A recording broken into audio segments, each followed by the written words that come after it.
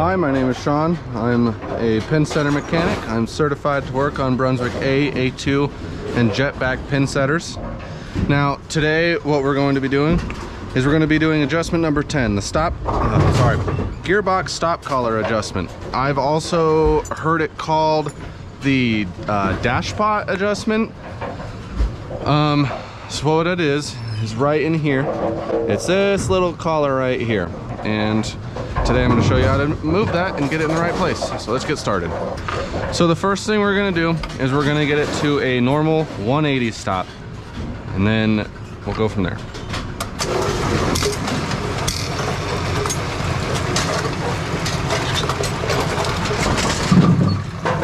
All right. Once you get it to 180, you'll turn off the power breaker, unplug it, per use of every adjustment. What we're looking for, I might have to get on top to show you. Yep, see that? Should not have gone in that easy like that.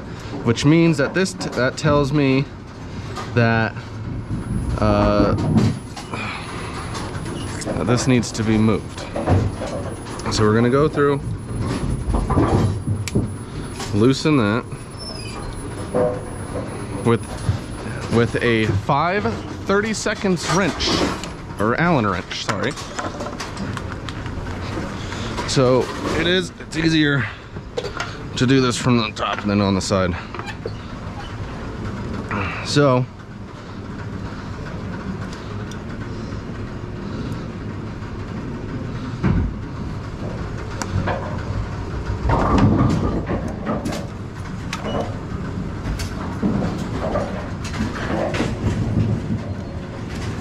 So what we're looking for is right here, this uh, lip here that uh, catches the uh, pin for the reset lever. What we need to do is we need to get this lip to sit halfway at the halfway point of the uh, the pin. So I'm gonna go through and have that held by hand right there once we whoops. Once we get it halfway move the stop collar down and tighten it. Okay? So from here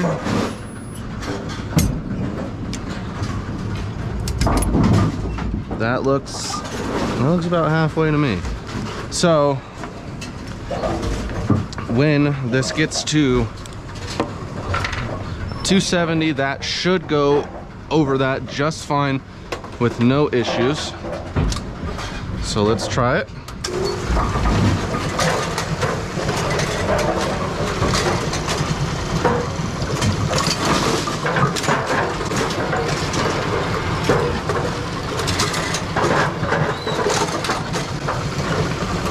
If you saw when that went up uh, to reset it, you even saw that there was just a, there was a little bit more there was a little bit more room for it to be like for a gap there.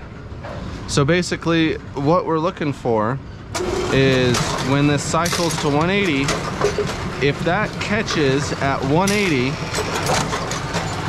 if that catches at 180, then your machine's gonna stop at 270. So you wanna make sure that it's good because if you're having problems with your machine stopping at 270, more than likely it's going to be that adjustment. And as you know, it should never stop at 270. So, and that's it. That's basically the whole adjustment. That little thing can cause you a world of problems. So, uh, if you have any questions, please leave them in the comments below. I'm more than happy to answer them. And if not, I will see you in the next video. Bye.